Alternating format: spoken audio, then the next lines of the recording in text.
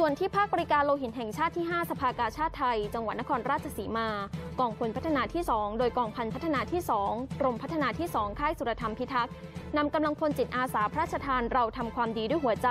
ร่วมบริจาคโลหิตปริมาณทั้งสิ้น 6,800 ซีซี เพื่อเป็นโลหิตสำรองให้กับโรงพยาบาลสำหรับใช้รักษาผู้ป่วย ท่ามกลางมาตรการป้องกันโควิด -19 อย่างเคร่งครัดทุกตอน อาทิเตียงรับบริจาคโลหิตที่ตั้งห่างกัน รวมทั้งการใช้ถุงพลาสติกให้สวมแขนก่อนวัดความดัน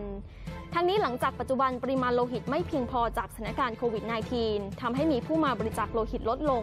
อย่างไรก็ตามทางหน่วยส่งเสริมให้กำลังพลร่วมบริจาคโลหิตมาอย่างต่อเนื่อง ลดปัญหาขาดแคลนโลหิตสำรองในการรักษาผู้ป่วยต่อไป